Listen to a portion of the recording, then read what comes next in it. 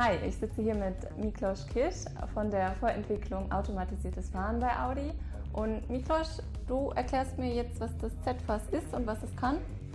Genau, ich versuch's mal. Äh, ich habe hier mal eins mitgebracht. Ähm, das heißt, das Z-Fass heißt zentrales Fahrerassistenzsteuergerät.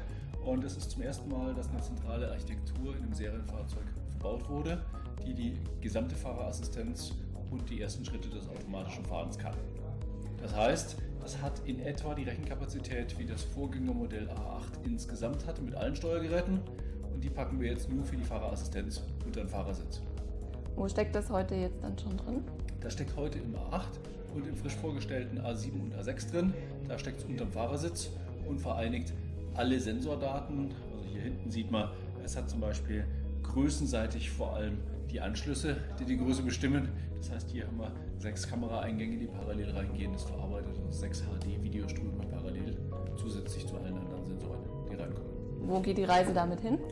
Die Reise damit ähm, geht jetzt erstmal in Serie und ähm, in Dauererfahrung und die nächsten Schritte sind dann tatsächlich das schnellere Fahren auf der Autobahn und die nächste Generation der zentralen Computereinheit.